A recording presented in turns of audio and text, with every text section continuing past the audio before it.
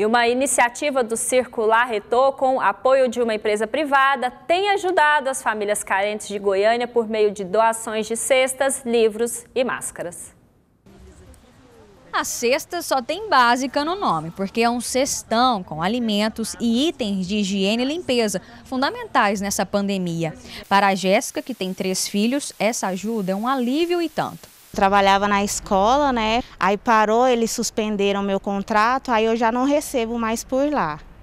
Aí agora a gente fica em casa, eu mais três crianças e meu marido. Aí o meu marido ainda está trabalhando, aí a gente, a renda lá de casa é a dele. E o que ajuda também assim, a gente a alimentação com as crianças é as cestas, a ajuda que a gente está ganhando. A iniciativa das doações é do Circular Retor em parceria com a fundação de um banco. A intenção é colocar alimento na mesa de pessoas que perderam suas fontes de renda nessa pandemia. As famílias aqui da região do Serra Dourada, elas tinham a sua renda através dos eventos, né? Então elas é, vendiam churrasquinhos, catava latinha e vendia, vigiava carro. E com o isolamento social, com o fim desses eventos, essas famílias ficaram totalmente desassistidas. Todos os itens da cesta foram comprados em mercearias de setores aqui próximos, justamente para fomentar a economia local.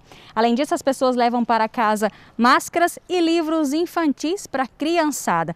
Ao todo, 574 famílias estão sendo beneficiadas e a intenção é ampliar esse projeto. Através dessa parceria, a gente pode é, fornecer essas cestas básicas, né? A gente já tem uma lista de espera enorme e nós estamos em busca de novas parcerias para ver a possibilidade de ampliar essas cestas.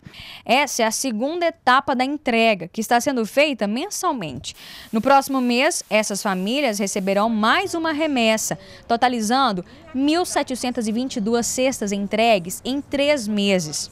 A gente recebeu vários retornos do quanto é, tem sido importante essa cesta básica para suprir necessidades básicas, né? Porque um alimento, um arroz, feijão, um, um, ovo, é uma necessidade primária do ser humano. Então é, é um mínimo que a gente pode fazer, é ajudar as pessoas que estão em dificuldade nesse momento. Isso mesmo, quem puder ajudar uma família que está passando por necessidade, ajude. Só te lembrando que as famílias contempladas com essas cestas já foram previamente selecionadas.